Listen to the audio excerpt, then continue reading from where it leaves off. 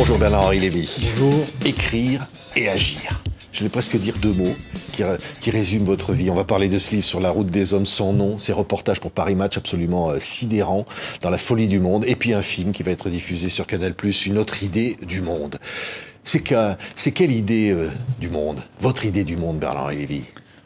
L'idée de la fraternité, l'idée qu'il n'y a qu'un monde, l'idée qu'il n'y a qu'une humanité, et l'idée que la, la, vraie grande crise de civilisation aujourd'hui, c'est la tentation que nous avons de rejeter, nous les nantis, toute une part du monde dans les limbes ou dans l'enfer, du malheur, de la misère, de la guerre, et de ne pas s'en occuper. Oui. C'est quoi? C'est l'indifférence du monde à l'égard de tout ça qui vous pousse, oui, vous Oui, c'est la différence de l'Occident, la différence de mes contemporains, qui me pousse, moi, à faire autrement, euh, à, donner, à essayer de donner l'exemple et à faire ce que je peux. C'est-à-dire, en effet, écrire pour agir. Moi, ce qui m'intéresse, ce que je dis, c'est que je ne suis pas un journaliste. Quand je fais faire un reportage chez les chrétiens du Nigeria, ou au Kurdistan, euh, ou en Libye, c'est pas juste euh, pour rapporter de l'information, c'est pour essayer d'agir dans le réel. Autrement dit, l'idéologie, la, doctrine d'un journaliste que je respecte infiniment, c'est l'objectivité. Moi, c'est pas l'objectivité. ma doctrine, c'est d'essayer de faire que ce que je vais écrire ait un effet dans le réel, que ça ait des résultats, que ça permette de briser le blocus de Sarajevo, que ça permette d'amener des Kurdes à Paris, que ça permette aux chrétiens nigérians d'entrer à la Maison Blanche, et ainsi de suite. Oui. Agir m'intéresse autant oui. qu'écrire quand je me lance dans des aventures de ce genre. Oui, je vais parler de ce film, Une autre idée du monde. À un moment, avec les Kurdes, quand vous les quittez, ils vous disent au revoir, et vous, dans ce film, vous dites, au fond, est-ce que c'est eux qui nous quittent, ou est-ce que c'est le monde qui les quitte? Oui, vous savez, je suis allé, j'ai fait beaucoup de voyages au Kurdistan.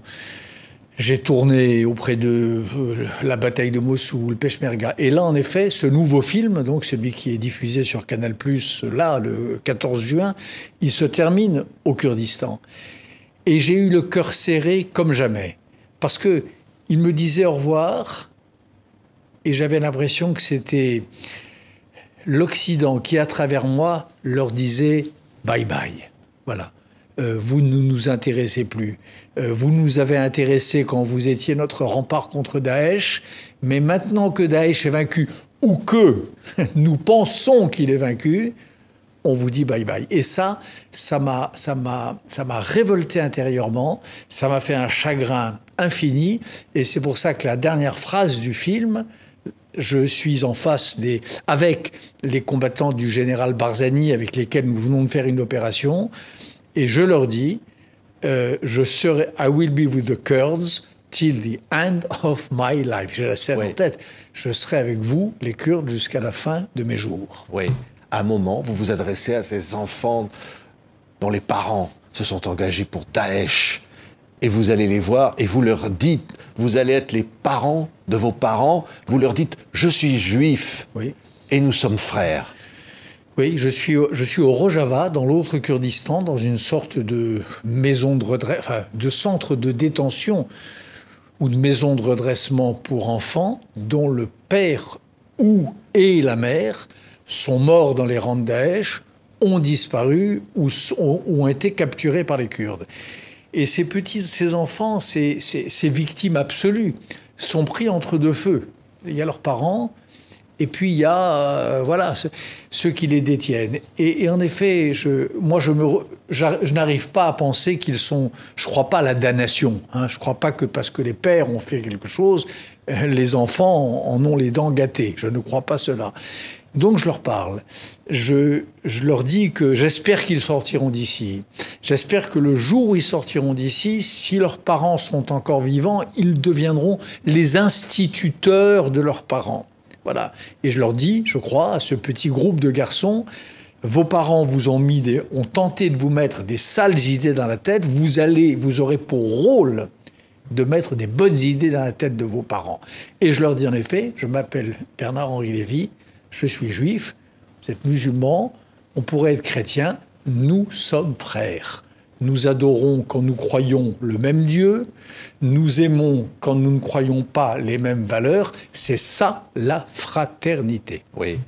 Palestiniens et Israéliens sont frères Bien sûr, mais évidemment. Aujourd'hui encore, malgré, malgré ces affrontements qui continuent, mais naturellement, malgré ces affrontements, malgré le cynisme du Hamas qui a, qui a pris en otage la population de Gaza, sans aucun but de guerre, quel est, le but de guerre du Hamas? Est-ce qu'il y a un territoire à récupérer? Non, l'armée israélienne s'est retirée depuis 15 ans. Est-ce qu'il y a euh, euh, euh, un blocus sur le, les, besoins nécessaires autres que de quoi fabriquer des armements? Non. Donc, il y a un Hamas qui, par pure haine, par pure volonté de détruire, de torpiller les accords avec les pays arabes voisins, parce que c'est ça la vraie histoire. Le Hamas veut torpiller les accords de paix entre Israël et d'un côté et les Émirats, le Maroc, Bahreïn, le Soudan de l'autre côté. Donc ce Hamas qui prend en otage les Palestiniens, cela m'est insupportable m'est insupportable. Et je sais tellement, je connais tellement Israël, et je, et je connais au fond aussi assez bien la Cisjordanie et Gaza. Et jadis, et je sais que les populations civiles ne veulent qu'une chose, c'est s'entendre, c'est construire un avenir en commun, c'est que, que les mamans arrêtent de voir leurs enfants, euh, d'avoir le cœur serré quand elles voient leurs enfants partir à l'école et ne pas savoir s'ils en viendront. Les sociétés civiles veulent la paix. Regardez un extrait de ce film, Une autre idée du monde, et c'est en Libye. Bernard-Henri Lévy.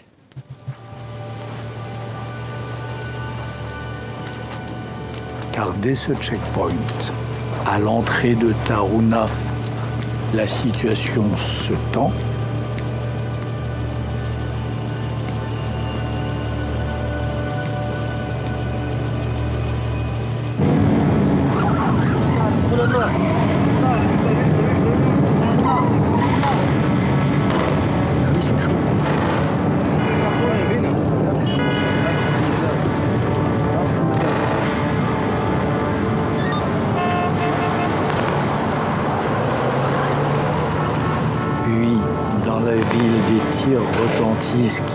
Ma voiture et juste derrière celle de mes camarades.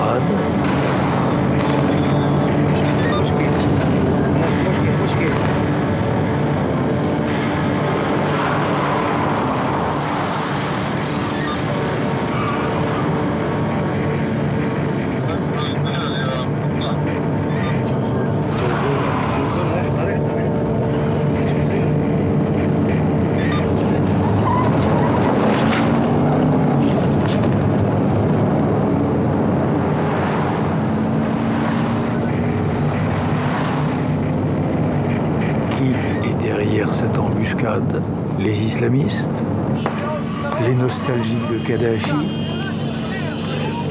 la famille Kani avec ses miliciens parmi les plus terrifiants de Libye.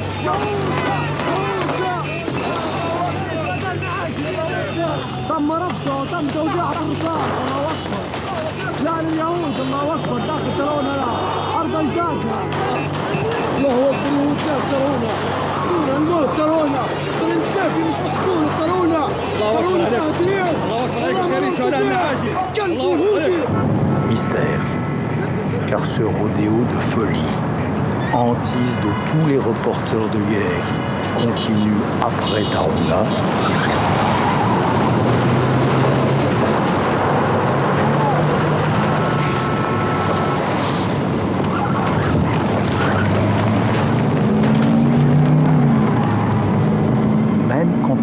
Le danger derrière nous et les poursuivants semés, la chasse à l'homme reprend de plus belle. Ah oui, Jusqu'au bout, Bernard-Henri Lévy témoigner avec ceux qui vivent ce monde-là.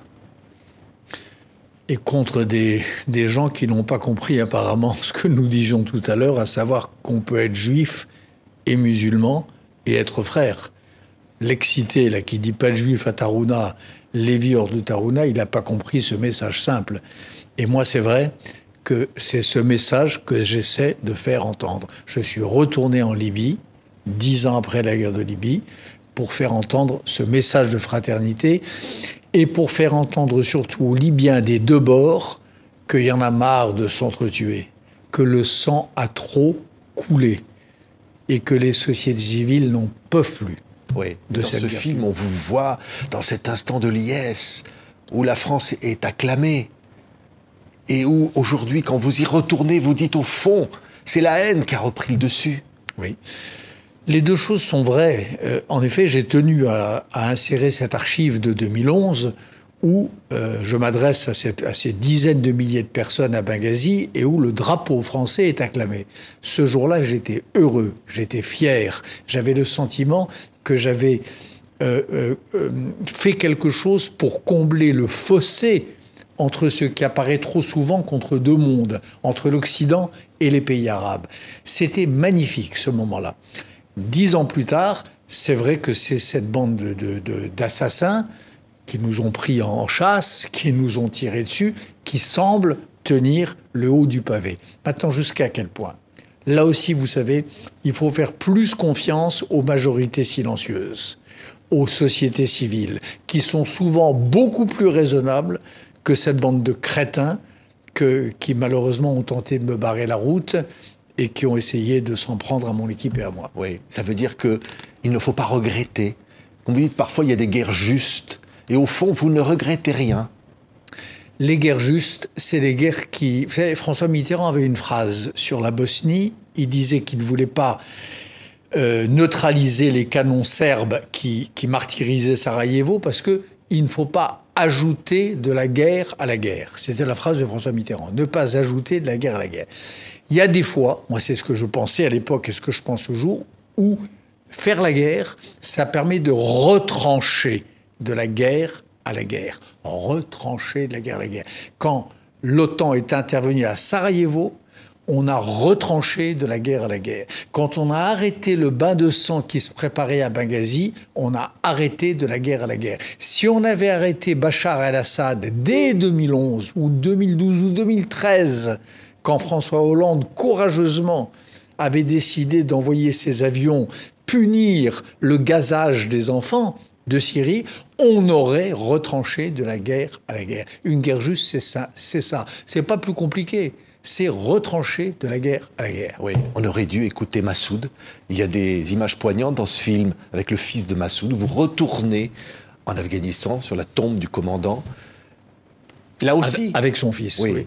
Avec son fils et avec ce moment magique pour moi, mais j'espère pour les spectateurs aussi, dans le film où on voit le fils du commandant Massoud qui, à ma connaissance, pour la première fois, raconte dans le détail les derniers instants de son père. Voilà comment il a été tué, comme vous le savez, par deux faux journalistes armés d'une caméra piégée. Et le fils de Massoud raconte son père au corps criblé de balles, à l'œil crevé, au visage un peu défiguré, trouvant encore la force de demander à ses deux gardes du corps survivants de le relever trouvant encore la force de réciter la, sourate des mourants, et il voulait la réciter debout et pas au sol, et là il a rendu l'âme. Ce moment-là de, de, ce film, de Une autre idée du monde, quand le fils Massoud me raconte ces derniers moments de Massoud, le père, pour moi, ça, ça fait partie des scènes qui méritaient de faire ce film. Vous dites à ce moment-là, je n'ai jamais tenu une arme de ma vie, hum. et là on vous remet une arme du commandant Massoud. Pour la première fois, vous tenez une arme dans vos mains, Bernard-Henri Lévy.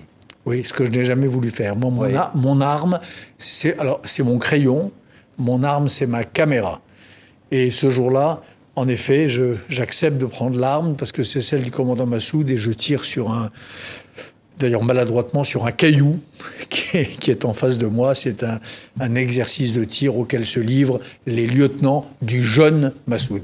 Mais je n'ai jamais tenu d'armes et je n'en tiendrai, j'espère, jamais.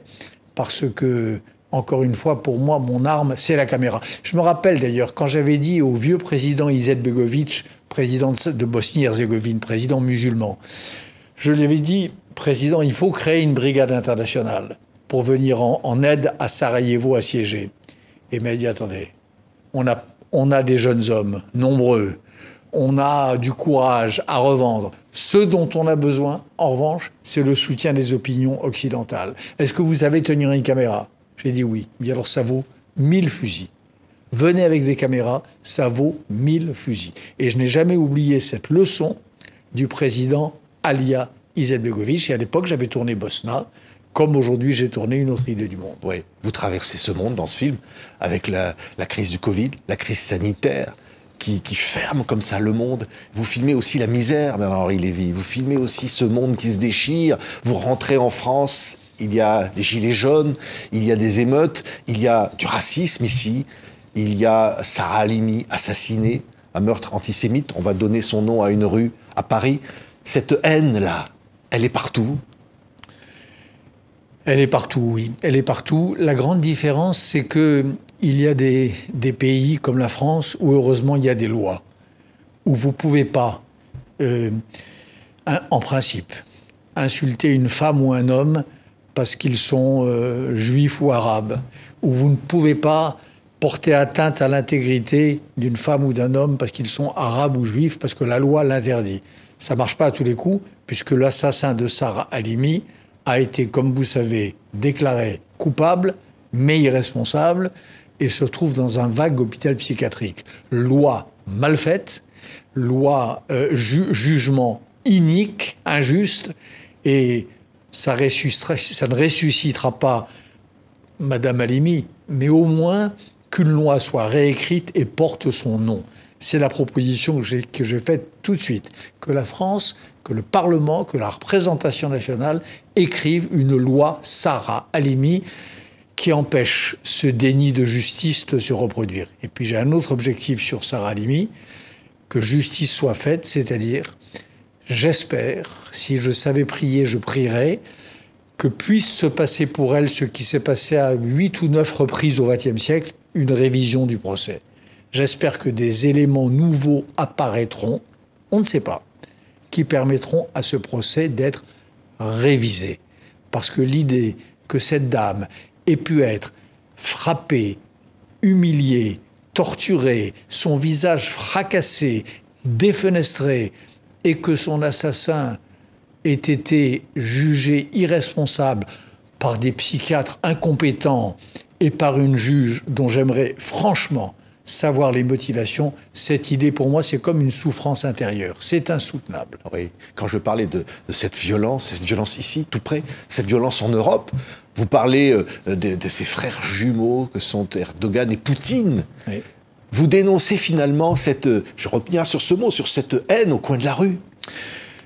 Au coin de la rue, et, et, organisée par ces grands empires. Parce que les deux noms que vous venez de citer, ils sont omniprésents dans mon film ce film, Une autre idée du monde, c'est un film contre Poutine et c'est un film contre Erdogan. C'est-à-dire, c'est un film contre les désordres que ces deux empires renaissants, l'empire russe et l'empire ottoman, injectent dans le monde d'aujourd'hui. Moi, j'ai connu, quand j'étais très jeune, une époque où l'impérialisme, c'était l'Amérique. Et je défilais dans Paris au moment de la guerre du Vietnam, à l'époque où on me voit dans le film avec John Baez et tout ça, même un peu plus tôt. Euh, contre l'impérialisme américain. Aujourd'hui, l'impérialisme, c'est quoi? C'est Erdogan et son rêve néo-ottoman, et c'est Poutine et son rêve de reconstituer l'espace ex-soviétique. Et ça, c'est sur le dos de leur peuple, c'est sur le dos des peuples voisins, et c'est sur le dos des valeurs démocratiques.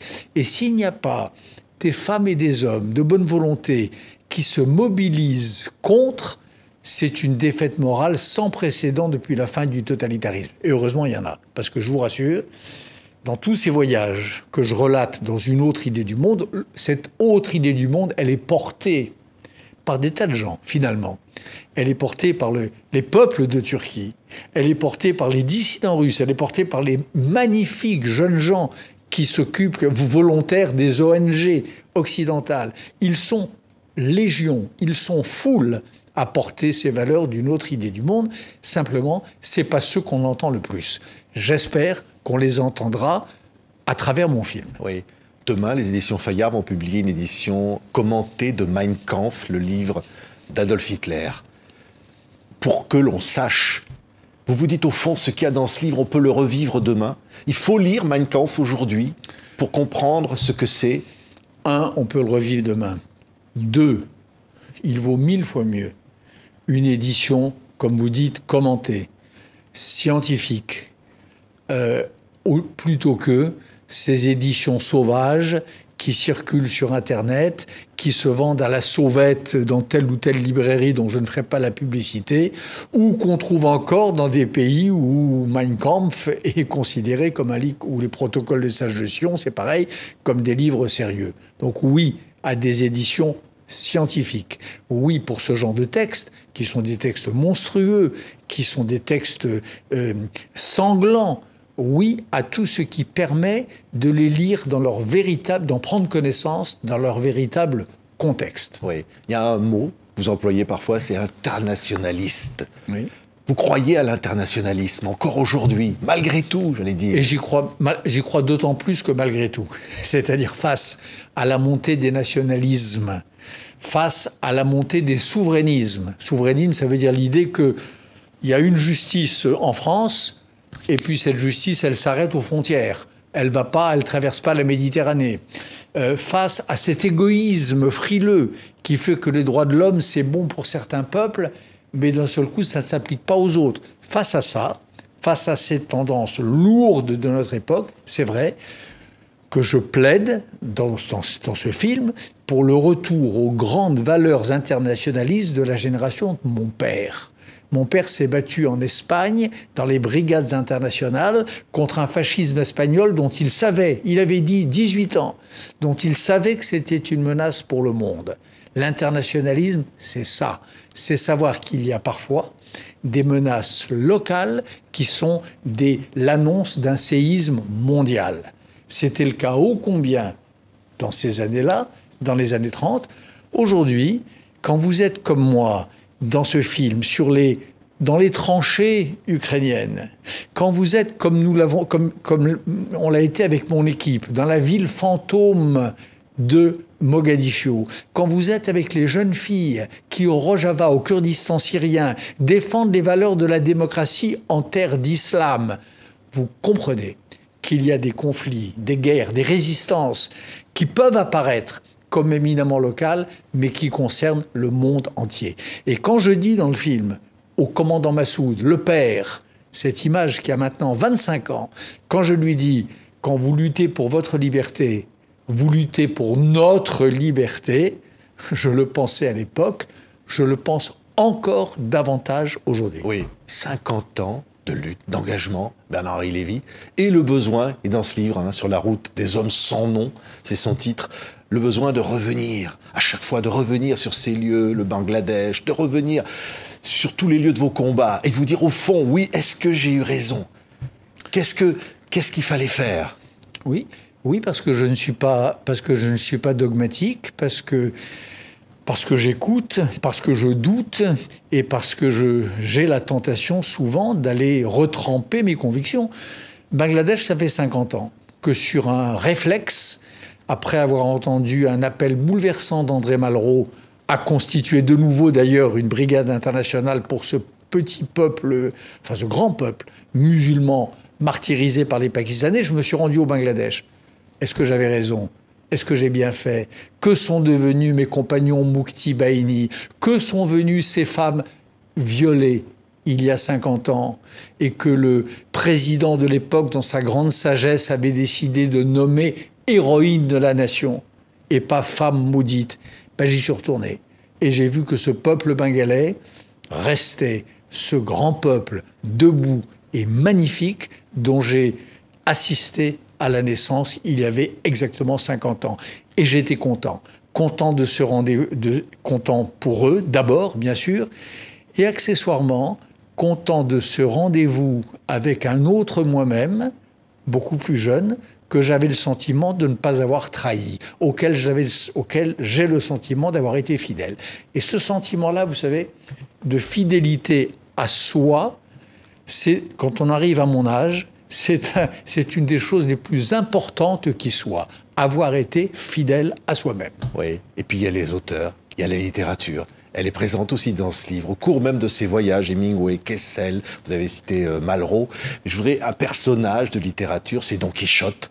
Et au fond, vous avez aussi cette passion pour Don Quichotte. Oui. Et ce que j'explique dans, dans, ce livre et dans le film aussi d'ailleurs, c'est que je n'ai jamais bien compris pourquoi dans la tradition occidentale, Don Quichotte est un personnage aussi mal vu mal vu, mal famé, un peu ridicule. Moi, c'est le contraire. Moi, je trouve magnifique ces, valeurs de chevalerie. Je trouve magnifique cette façon de voler au secours, de, comme Don Quichotte, de la veuve et de l'orphelin.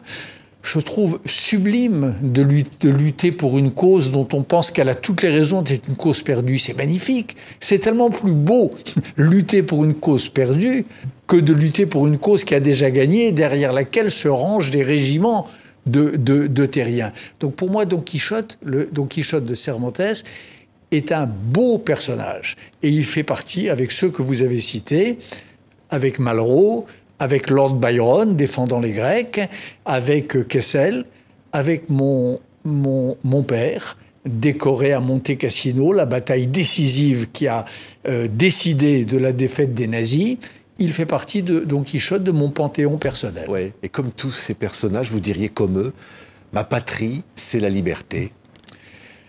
Ma patrie, c'est la liberté. Ma patrie, c'est le reste de l'humanité. Et ma patrie, c'est aussi la langue française.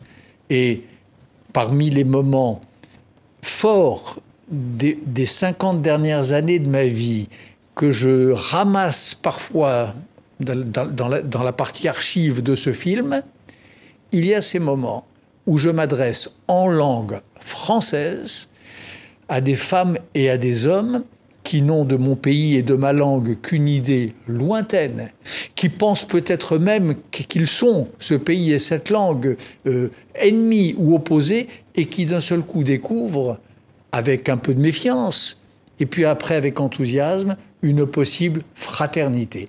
Et ça, c'est des moments d'une intensité et d'une force extraordinaire pour mes compagnons d'aventure, de voyage, de film et pour moi-même. Merci beaucoup, Bernard Merci, Sur la route des hommes sans nom est publié chez Grasset. C'est exceptionnel et une autre idée du monde. Votre film, il faut le voir. Merci beaucoup, Bernard. Merci.